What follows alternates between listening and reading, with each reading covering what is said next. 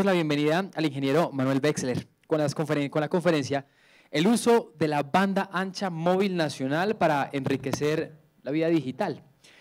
El ingeniero Wexler actualmente se desempeña como director de marketing de las TIC para Norte y Latinoamérica en Huawei Technologies.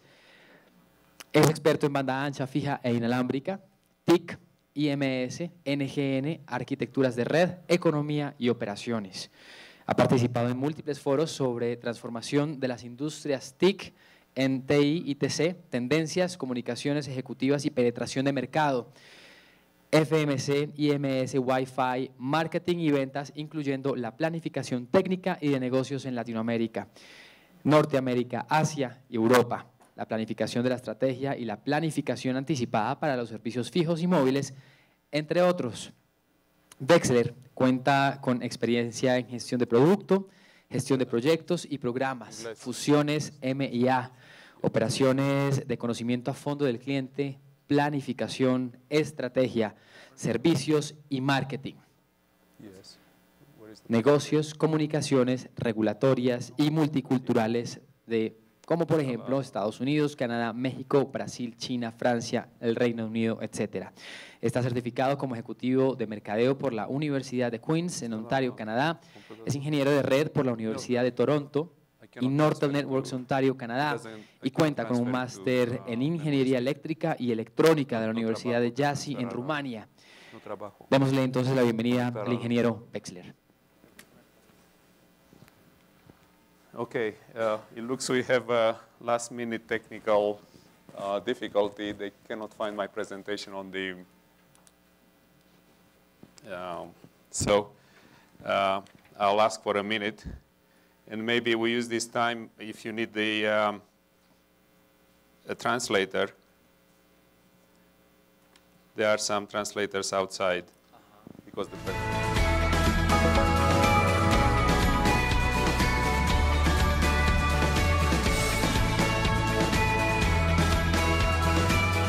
Okay, uh, I will, um, I think we'll have to wait for a minute, but um, the presentation actually is looking on a different direction. Uh, I started to look at IoT from the viewpoint of the carriers and also from the viewpoint of different um, regulators and policymakers in the region. I'm working primarily with uh, the policy regulators in uh, Mexico. And as you know, in Mexico, there is a, uh, one of the largest transformation I've seen in the industry. Starting last year, the Mexico government uh, had changed the constitution of the country to allow telecoms to actually have investment, foreign investments up to 100%. They also announced a uh, uh, very different and novel plan, and I would say revolutionary, by allocating the whole 700 megahertz spectrum to uh, one carrier, which still has to be um, uh, st still has to be uh, nominated, uh, and um, this whole uh, spectrum is going to be used to create a carrier of carriers, a wholesaler for LTE and they are going to use LTE APT um, technology or APT standards, uh, Asia Pacific. Uh, they expect, and uh, this is again a, a, new model, a completely new business model, which of, of, course will affect everything from education to Internet of Things to health to, uh, um, mob, uh, to mobile um, government and so on. Uh, this network will cover about 98% of the country, no, or 98% uh, rather of the people in the country.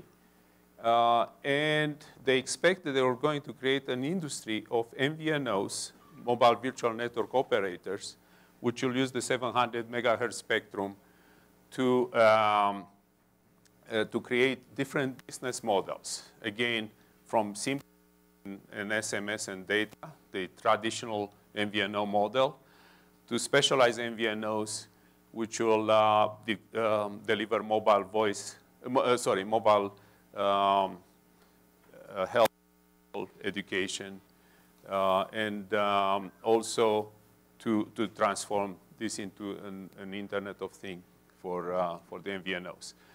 Uh, they still seem to have difficulties with the presentation. I hope they. Okay.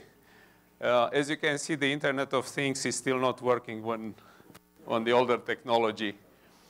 So maybe to, to continue a few more minutes, and uh, I'll show some of this in, in the presentation as well.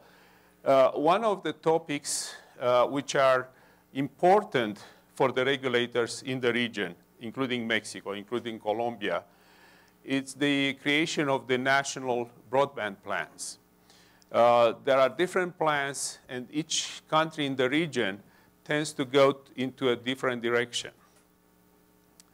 Uh, however, as I'll, I'll, show later, the um, policies, the number of policies toward uh, um, broadband, toward uh, uh internet uh, connectivity, toward massification of the internet are growing in the region. And I'll, I'll still want to show you some slides, if I can.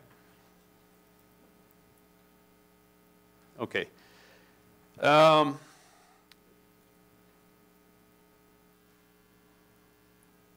let, let me go back for a, a minute on the uh, business models and the transformation of the industry in, uh, in um, Latin America. Um, you can see in, in terms of the um, transformation and in terms of the spectrum allocation, uh, a lot of the data, and I think, I think Mario, you may have more data on that.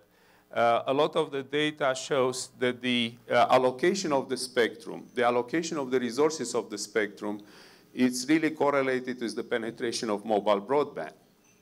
Uh, countries like Brazil uh, have a lead in the penetration of the broadband, around 35% of the uh, customers. the same with Chile. Uh, other countries which allocated less uh, broadband in the last few years, including Mexico, including Colombia, have significant lower penetrations uh, in terms of mobile broadband. Uh, usually about half of the penetration of the, the first countries which allocated more, more amount of uh, spectrum. Why is this important? When you look at the Internet of Things, uh, one of the key elements in building a, uh, a um, industry around the uh, Internet of Things is the availability, availability of broadband, availability of fixed broadband, as well as availability of mobile broadband. But it's not enough to have broadband. Uh, then uh, when, when I'm going to show the uh, market segmentation, it should be somewhere there. Don't worry, it's coming.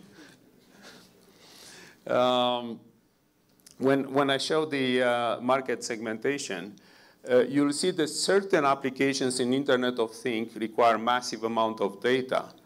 It requires massive amount of data processing, require business intelligence on top of it, but also requires speeds that are not uh, transmission speeds or, or interconnection speeds, which are not common in the two and a half G and 3G technologies.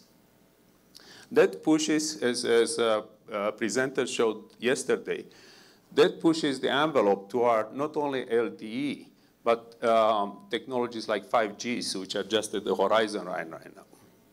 So in the, in the delivery of the um, Internet, uh, Internet of Things, we need to consider the evolution of the network. And uh, certain segments of the Internet of Things will be available like machine to machine, uh, very low amounts of data coming from metering, coming from uh, traffic management, uh, can be transmitted today. But large amounts of data uh, requires actually a huge um, network transformation, if you want, this huge network redesign uh, to handle the amount of data over the mobile network. And also requires um, the creation of cloud computing, the creation of business intelligence, of analytics in the cloud to respond also very fast to the amount of data collected. That sounds like the beginning. Okay. This is a machine to machine, right? no, no human in the loop. Okay, uh, if we, yeah, do you have a remote? You, you can work from there. Okay, if we can go to slide number one would be great. Okay.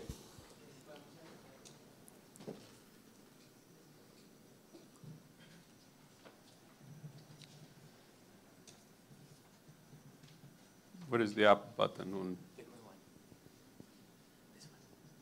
Okay. So now we start the real presentation. If we look at uh, really affecting uh, the um, affecting the uh, masses, affecting the people in, in a country, uh, how the Internet of Things will enrich the, the life of people. We have to start with the people. And we talked a lot in, uh, yesterday and, and, today about smart devices, smart networks, and uh, also about uh, smart services. Now, to get there, I pretty much look at what requires to create an IoT ecosystem. The first thing, I talked a little bit about it, is the creation of the network, LTE, uh, and eventual evolution to 5G. Why is this important, actually? Uh, 5G is around the, is still at the horizon line. 3GPP is still working on the, the standards. We don't even know roughly what is going to be. Think of spectrum. We allocate spectrum for 10, 15, 20 years. If we do not consider these technologies today, the spectrum we will allocate will have stamp on it LTE or 3G. It will be too late to change. You, you're planning 20 years ahead. It's frightening, right? We talked also about addressing. All these devices have to be addressable like, uh, like Intel said, 85% of the devices are not uh, even network. We need to address them individually. And actually, uh, a more complex device may have hundreds of addresses, different sensors, different actuators, different motors, and so on.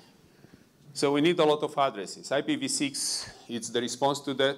Fortunately, the, the industry is moving in the right direction you know, on IPv6.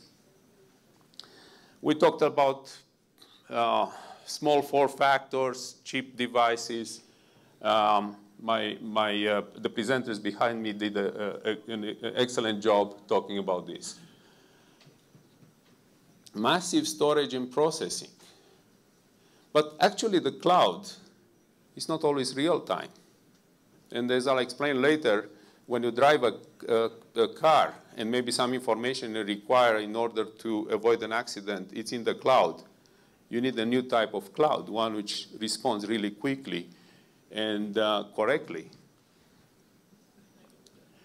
And the economy, how you connect the regulations and the economics in order to create uh, the right spectrum strategy. Gartner publishes the, uh, the famed uh, technology cycle. Let's look where the Internet of Things is this thing should have a laser. But if you look at the top of the slide, the Internet of Things is right on the top of the peak of inflated expectations. This is where we are today.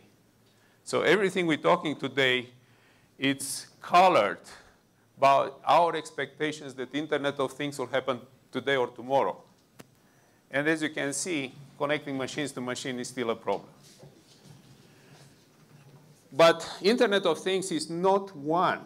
It's actually a collection of different technologies. And what I marked here in the red, there are uh, things from um, the uh, connected home, cloud computing, mobile home, uh, sorry, mobile health uh, monitoring, different points on this, on, the, on this curve. In order for the industry to really reach uh, its uh, economic, um, economic uh, um, point where it's actually cost effective, we need to be on this side of the cloud. Look how many technologies have to migrate to the right in order for the Internet of Things to become a viable economic model. Now, in, uh, in preparation for the IoT, uh, uh, growing numbers of countries are actually uh, changing or evolving their policies. If you look on the graph on the left, it's actually a number of countries, including, uh, as the, the, uh, um, the minister uh, mentioned yesterday, including Colombia with Vive Digital, including Mexico is the Red Compartida, the, the, uh, the uh, beginning of my presentation. They are looking to expand the mobile uh, coverage and mobile, mobile um, network penetration to all the services. But also, they are including more and more policies on the digital agenda. What's important on this curve, if you look where it started, very few countries started these policies. Now, about half of the world has uh, focused on policies, not only on spectrums, but digital agenda, um, massive deployment of broadband technologies, primarily mobile today, uh, as well as the uh, um, uh, um, propagation of things like e-commerce and, and mobile coils and so on. If you look on the slide on the right, on the uh, graph on the right, uh, you can see where the countries are in terms of broad, broadband speed and penetration. Uh, Colombia is right at the beginning of the graph, uh, about 50% penetration today, or last year actually, the data. And the broadband speeds have to really pick up in order to reach the countries that can deploy IoT today, which are on the upper right corner of the, the slide.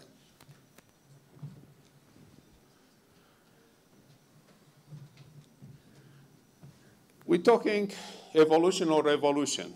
I really don't know the answer. I don't know if IoT is an evolution or a revolution. It seems to be a collection, actually, of evolving things and the tipping point eventually, which will create a revolution. But uh, books have been written and, uh, and studies have been conducted on already trillions, and we're not uh, talking about billions, we're talking about really next order of magnitude of, um, of sensors and on, of devices and humans connected to the internet. How this will evolve as a whole, how this will change the life of people it's really something I would like to talk a little bit more in details today. So I mentioned already that uh, the Internet of Things demands increased uh, network performance. On the left-hand side is mobility. And it's really connected to enriching the life of the people, starting with cars and shopping and, and homes, and cities, personal uh, safety, health, and so on. On the right-hand side, it's really the Internet of Things uh, for the industry. If you look there, uh, the, the um, enterprise part of the Internet of Things seems to be more connected to fiber optics and fixed broadband. Why is that? Companies don't move. Even if you have robotics inside the plant, you need a high volume of data which stays inside that plant. So when, when we're looking at the demands, one dimension is mobile versus fixed. The second dimension is related to reaction time. If you drive a smart car, you're talking about milliseconds on applying the brakes. The human can do it in half a second, so if the machine doesn't do it faster, there's no need for it. Other, other um, uh, models of the IoT business require responses from seconds. You walk in a, in a shop, you don't want to wait uh, half an hour until uh, your coupon shows up, for instance. Two safe cities which may, uh, may uh, require reactions in seconds. Why is this important? Let's look at the model of a car. This is a, actually a slide that I, I, got from uh, Daimler.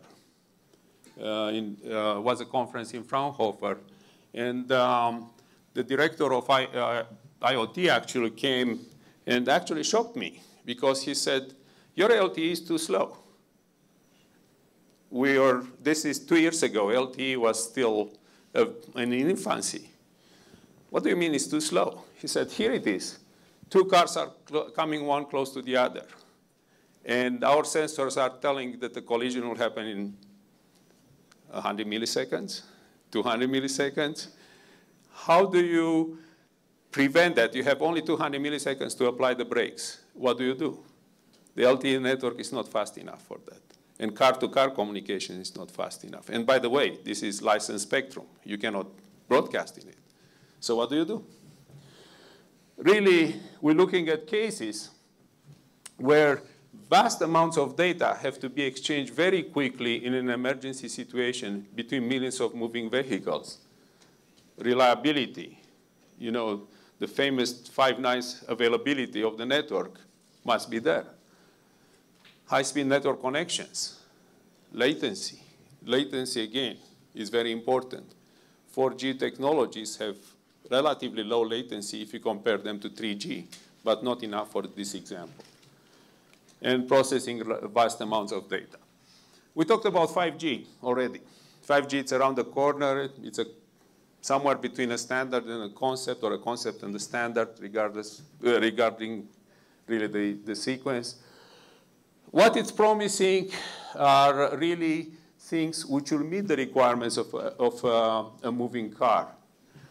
Uh, but if you look at this, um, this example, it also indicates a fragmentation of the requirements for the spectrum from high throughput, low throughput, like multi-user telepresence, to high density of links. For instance, in a stadium, common problem today, how you offer services to, you know, 50,000 people cramped in one square kilometer to emergency services which require uh, very little delay as well as they require a high um, output of data. This is what is the 5G promises. But 5G is still not here. Did any country allocate its spectrum for 5G? No. 20 years, right? New challenges are also for how to make money with these technologies. Let's remember that all the service providers today are private companies. Very, very few exceptions. Um, Ecuador comes to my mind, where you still find some carriers which are uh, owned by the government, fully owned by the government. So let's go back to what we talked uh, a couple of slides ago we have to go between fixed networks, networks with limited mobility, and fully mobile networks, different levels of latency, different net, uh, these networks really do not exist today. Quality of service, quality of experience is still in its infancy, really in terms of deployment in real life situations. Yes, we do have the technologies. Yes, yes, we do have the standards for that. Yes, we have the models, the architectures, but creating these, this um, uh, architectures in real life, in a massive, you know, deployed to millions of people. Remember the theme of this presentation, it's, it's about actually the um, enriching the life of all the people. We are still years away from that. Spectrums, of course, spectrum, of course, plays a role. A lot of the 2G, 3G networks still have to be amortized. In this region in particular, we still deploying a lot of 3G technologies. Huawei deploys a lot of 3G technologies. We're replacing the older 3G with the new 3G. So the move to LTE, as I'll show, is fairly slow. So we're also talking about spectrum, LTE versus GPRS. Efficiency, efficiency of using the spectrum. We do have today technologies uh, available to reduce the, um, to increase the efficiency of the spectrum, to reduce the stress on, on, uh, on governments to deploy new spectrum. However, however, we also locked ourselves when we issued licenses for these technologies. So even if the service providers wants to change, and they have the funds, and they have the economics, and they have the customers, they cannot change because that spectrum cannot be or reallocated or refarmed to LTE. So it's, it's a balance. Again, remember, 20 years changes. It's a balance. The uh, spectrums which were allocated 10 years ago, they are still under a license and an obligation to actually deploy edge technologies. Let's keep going. So I'll, I'll go quickly through IPv6 and, and the uh, big data and M2M. This is the situation of IPv6 in the region. Mexico, Panama still very low on deployment. Now, uh, if you look at Colombia, it's actually moving up. Uh, Ecuador and Venezuela. Venezuela, interestingly, deployed a lot of uh, uh, IPv6 uh, technologies. Um, this is the transformation which is necessary, but it needs to be synchronized also spectrum allocation with uh, LTE penetration and the other technologies in itself doesn't move us to IoT. It just gives us the fundamentals so we can create the addresses for sensors for new devices. This slide had been on, uh, on another presentation yesterday. Really, uh, if we look at the industry, the whole industry has to move in the Internet of Things, according to this research by Business Intelligence. Uh, in about two, three years, we'll have more devices that require or behave in the IoT that we had in the smartphones, tablets combined.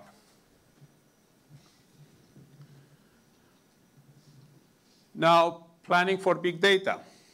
Latin America. Still, most of the planning is two years ahead of us. Again, technologies uh, exist. This is a Huawei example uh, of performance. Performance is increasing. Maybe actually waiting a little bit longer sees again performance increases, but I'm not recommending that. Um, companies are starting to spend already a lot of money in the big data, uh, storing it, processing, and actually trying to use this big data to create new business models to create better decision processes. But this is not yet in the phase of uh, IoT. It's not big data which is collected from uh, devices. It's more big data which is collected from existing IT systems. Let's go into the economics of the big data. Um, the effects of digital economy have been discussed, studied, uh, assumed. We've seen figures where we're saying that introduction of uh, ICT technologies can move an economy uh, up by 1 to 3% of the GDP over a year. Um, the region is still, in, uh, in uh, terms of using the uh, ICT technologies, of, in terms of using big data, Latin America, it's, it's in a catch-up mode.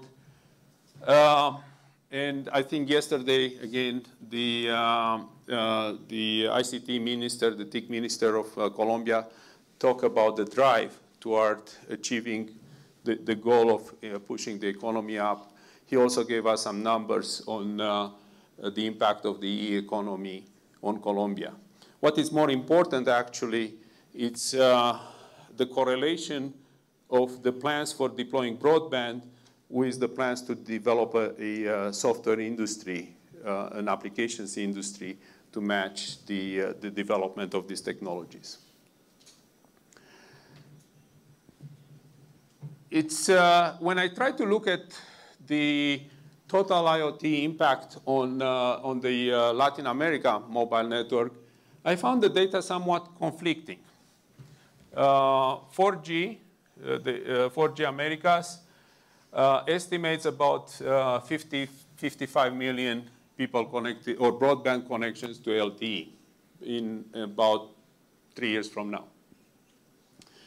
If you look at the, uh, the data about mobile connections, LTE will still represent in three years about 10% of the 500 million people uh, which with broadband connections. Also, uh, interestingly, and a, a, little bit alarming, is the M2M connectivity is very low. We're talking about millions, millions and millions of devices to be connected uh, around that time. It doesn't match the connectivity of broadband.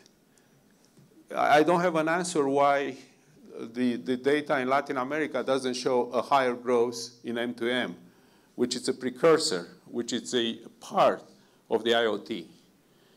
Um, if it's any analyst in the room, I would like to ask him or her to maybe look again into this data because I don't see a correlation. I don't see really a trend pushing IoT in, in, uh, in the region. I talked a little bit about business models. Let me take, take you back for a second there. The typical uh, human um,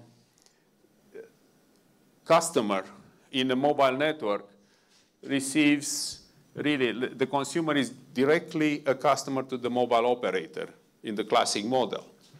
Um, 95, actually about 98% of the subscribers in the world today are directly customers of an operator, MNO, mobile network operator. Only 3-4% are uh, through an MVNO or another arrangement.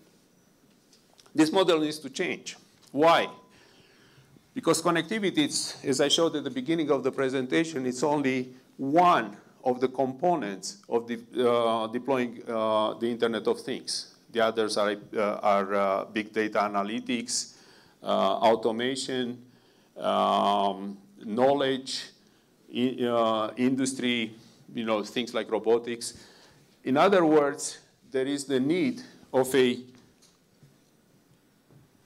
additional uh, layer to take the connectivity, to apply the business intelligence, the cloud services, and to create actually the, um, uh, uh, the Internet of Things uh, closed loop between machines, decision makers, and, and back to acting on the, uh, on the results of these decisions.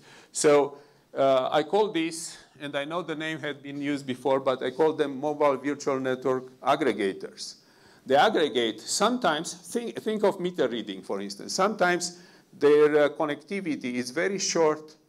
It's once a month or once a day, uh, and very low amounts of data, as uh, some of the presenters have shown before, uh, very low speed. This is not a business model for an operator, which is actually uh, making the, the business on uh, selling minutes, SMSs, and uh, massive amounts of uh, data. So that needs to be aggregated on a different layer. And intelligence has to be applied to that uh, data.